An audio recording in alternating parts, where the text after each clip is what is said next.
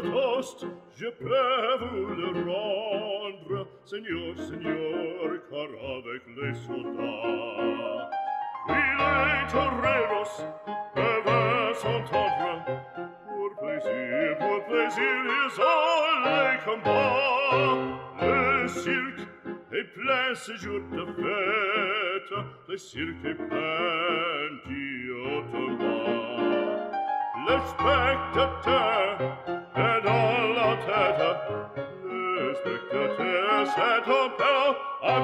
le.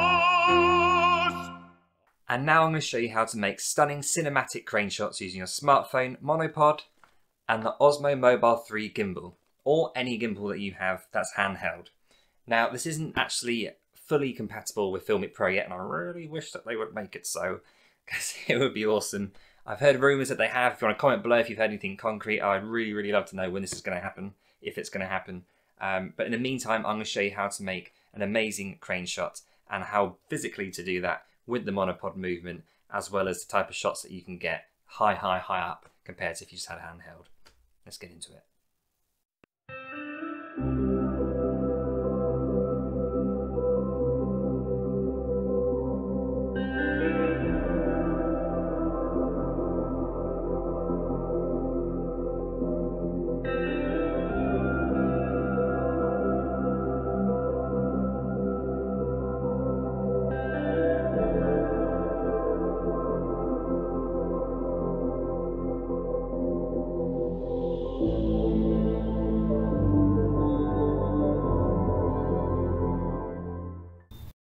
Okay, so you got your monopod and you got your gimbal attached to that. We're going to pretend the phone's on this because obviously I'm filming with the phone.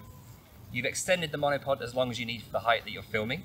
So to get the right stance, you need your legs apart, both shoulder width apart. So make sure they're in line with your shoulders. Plant your feet in so they're nice and steady as well so you don't lose your footing when you're moving. Because obviously that will shake the footage and make it unusable. Now to get the movement that you want and to get the stance that you need, you're going to move your hands down the monopod slowly and firmly. So you've got one hand at the end of it, holding on right at the end.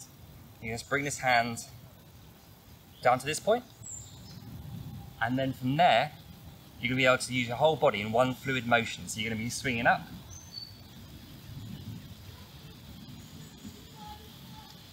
as high as you can to get the height that you need. And there's two ways to bring this down. You can either pass it hand to hand, to bring it down, and then maybe if you want to get low, you can bring your crouching position as well. Or the other position you can do to bring it down is for having it high up, you can slide it through your palm of your hand. So the higher hand, slide it down, slide it down, and then bring it in, and you can bring it lower like that. Or, as you're bringing it down, you can then twist and turn the gimbal so you can get different shots like the one I had from the graffiti into the woods. So basically, the things you need to remember are your feet position, your hand positions, and moving as one. So your whole body with the with the monopod and the gimbal needs to move as one. So you've got one as it starts to rain here. So you've got one fluid motion going up and then coming back down. And that, my friends, is how you create, with a monopod and a gimbal, a jib shot as a heavens open. So let's start off with some revealing shots of swooping from the ground upwards. So using that kind of smooth motion with your legs at shoulder width, using your arms in the right position, using it all as one. So basically using your body as a gimbal for the gimbal and the monopod. Now you can use these shots to reveal subjects, actors, um, just places like this. It's a really, really amazing tool to get stunning cinematic images with your smartphone. It takes a lot of practice and you can use the monopod to turn the whole thing as well as you see there.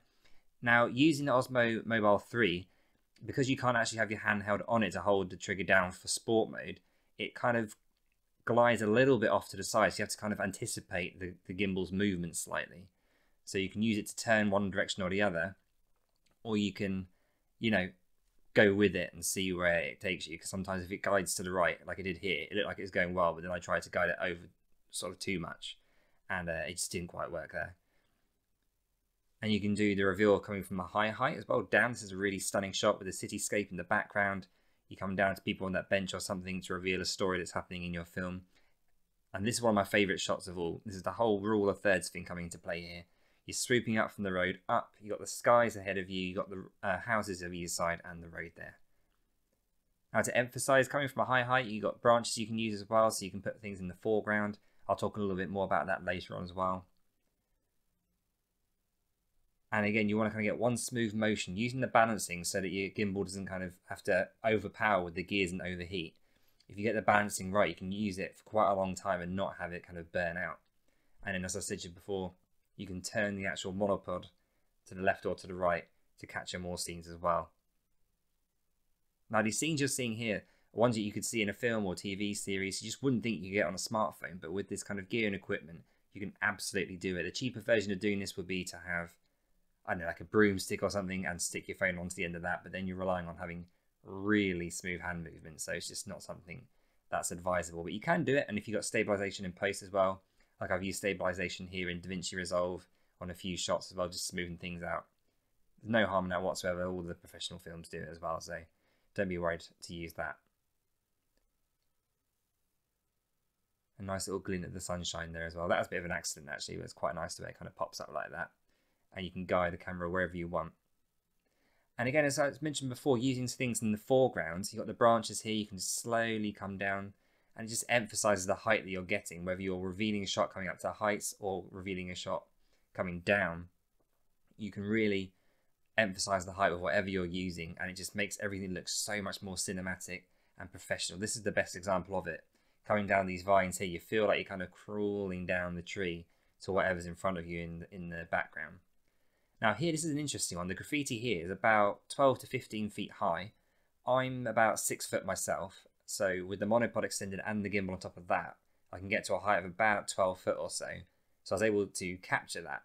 And this is one of the things that you just wouldn't be able to do without the monopod or the gimbal. So you can get nice smooth shots. And as you can see here, I've got the stance here. It's probably a bit over maybe shoulder width, but it's about there.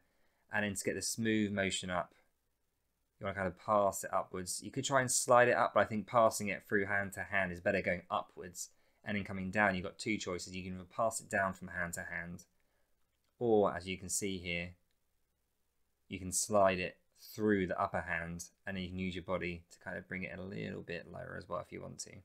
So there's a few different techniques to bring it down, but up, you want to stick kind of hand to hand and make that nice and smooth if you're just going completely up rather than doing the swooping motion that is. Now here you can see I'm doing a panning shot across the graffiti and then into the pathway in the woods and then using my whole body so you're swooping slowly to the side, twisting your hips. And here's a stunning shot. This wouldn't look out of place in something like Stranger Things, I don't think. Especially when it's a bit darker, it's kind of a bit more moody. It's such a great way to reveal a shot. You can kind of show that it's somewhere a bit murky, a bit grungy, a bit dirty, and you swoop, and you can have some characters, some actors walking into shot and out into the distance, or even walking towards you. Now, to remind you, the three steps of cinematic crane shots are have your legs shoulder width apart to give you the balance and the steadiness. Two, to have your hand placements on the monopod really well, so one right at the end and one maybe a foot further up to give yourself a nice balancing of the weight. And three, moving your whole body. Well, guys, I hope you found this video useful. If you did, hit the subscribe button now and the like button for this video. I really appreciate that if you do. And also, if you've got any questions about the equipment, I'll put all the links to everything I've used in the description below. And yes, if you've got any questions, put it in the comments below and I will answer them as soon as I can. I always get back to comments and try and help people as much as I possibly can. If you're new to this channel, this is your first time, I cover everything smartphone filmmaking, from accessory videos to filmmaking tips, tutorials, Filmic Pro tutorials that uh, you won't see anywhere else that have been endorsed by Filmic Pro left, right and centre. So do check those out as well. And of course, I upload the short films that I make so you can see how I'm implementing these storytelling tips, etc., into my films. Well, thanks so much for joining me, guys. Take care. See you next time. Bye bye.